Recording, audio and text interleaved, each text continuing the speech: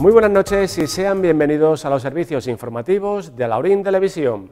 Hoy es jueves 27 de junio y vamos a empezar hablando del proyecto Coworking que tan buena formación les está ofreciendo a los emprendedores que participan en esta iniciativa.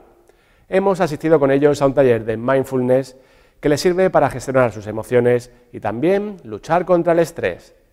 Aprender a conducir nuestras emociones es siempre interesante para todos especialmente para aquellas personas sometidas a mucha presión. Hay actividades que nos ayudan a potenciar nuestra inteligencia emocional y centrarnos en nuestros objetivos de manera que aumenta nuestra productividad y reducimos los riesgos de estrés. Es lo que hicieron ayer en el taller de mindfulness para emprendedores que se desarrolló en el tercer espacio coworking impulsado por el Ayuntamiento de Alaurín el Grande y la Escuela de Organización Industrial, la EOI.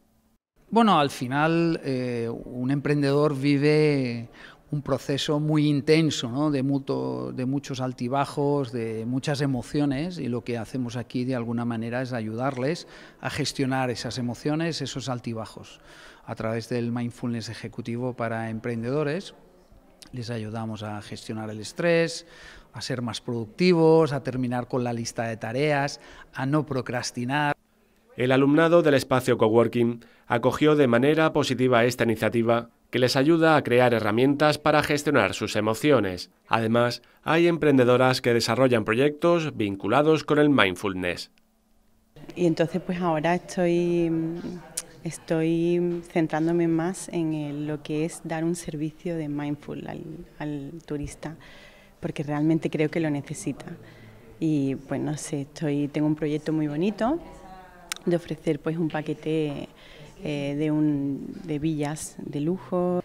Bueno, me gusta. Yo soy coach y soy facilitadora de mindfulness. Mi proyecto va, mi emprendimiento va precisamente en eso, ¿no? Y yo creo que para mí es imprescindible. Es imprescindible saber gestionar tus emociones y, y bueno, llevar tu atención a aquello que estás, que estás haciendo, ¿no?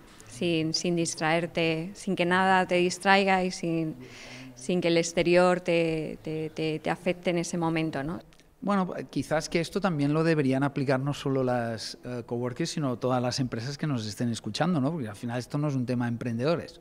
He tenido la suerte de participar en el taller y la verdad es que va, me ha resultado bastante interesante, tanto por el ponente que lo imparte como por la forma de, de impartirlo y los, mm, las personas que están en el, en el proyecto de coworking, la verdad es que se les ve bastante involucradas y aprovechando bastante estos cursos.